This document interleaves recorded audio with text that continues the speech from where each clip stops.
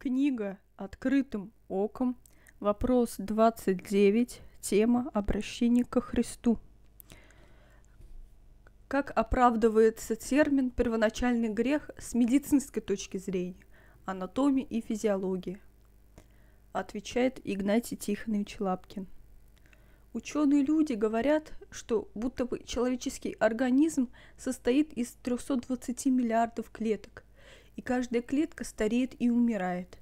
Физиологи и геронтологи ищут причину старения в пище, в образе жизни, распорядке дня. Надеются продлить жизнь человека до тысячи лет. Библия говорит, что первые люди были бессмертны, а первые после грехопадения жили около, около 950 лет. Так от чего же человек умирает? Книга Бытия, 2 глава, 17 стих а от дерева познания добра и зла не ешь от него, ибо в день, в который ты вкусишь от него, смертью умрешь. Евреям, 2 глава, 14 стих. А как дети причастны плоти и крови, то и он также воспринял оные, дабы смертью лишить силы, имеющего державу смерти, то есть дьявола. Римлянам 6 глава 23 стих. Ибо возмездие за грех – смерть, а дар Божий – жизнь вечная во Христе Иисусе, Господе нашим.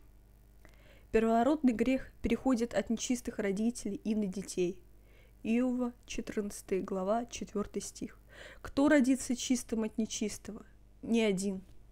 Разгадка долголетия обречена на провал, ибо переход от смерти состоит только в полном переходе к жизни, к дару Божию – Иоанна 3 глава 36 стих.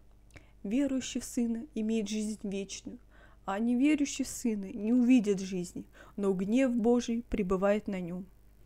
Когда человек осознает себя мертвым, бесповоротно и навсегда, и в этой безнадежности обращает взор к Иисусу и принимает его в своем сердце, как своего Спасителя, и получает новое духовное рождение после омытия грехов, он делается святым и бессмертным – как и первозданный Адам, в котором не было первородного греха. Евангелие от Иоанна, 3 глава, 5 стих. Иисус отвечал, «Истинно, истинно говорю тебе, если кто не родится от воды и духа, не может войти в Царствие Божие». Деяния апостолов, 22 глава, 16 стих.